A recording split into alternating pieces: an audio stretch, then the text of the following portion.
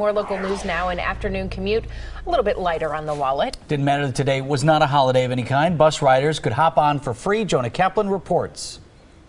Check it out, I'm here in a Waukesha Metro bus. I come to hand in my fare. Impossible to do so. Here's the nice sign, enjoy your free ride. And many riders we spoke with today, they call this a real blessing. The bus even splashed the good news on its banner. Free rides today. Posted signs even announced it last week. It still came as a surprise to Deborah Smiter. I've been blessed to be able to pay my way because I work.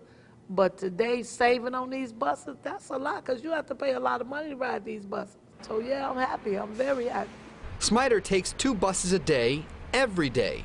She works full time and attends college. Today, she'll save $10. I could have bought some food.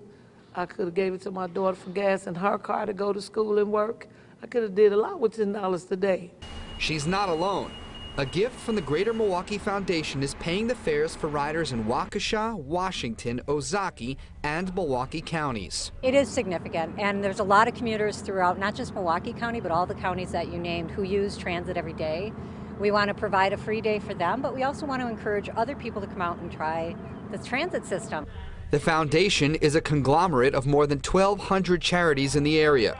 It's celebrating its 100th year. We're expecting tens of thousands of people today to come out and ride the bus for free. In Waukesha, Jonah Kaplan, today's TMJ4.